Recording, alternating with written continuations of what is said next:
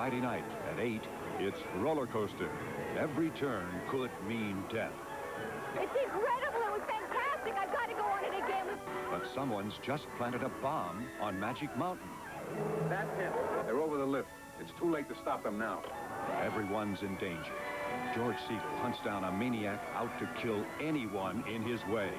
No one is safe on Roller Coaster. Friday at 8 on Channel 11.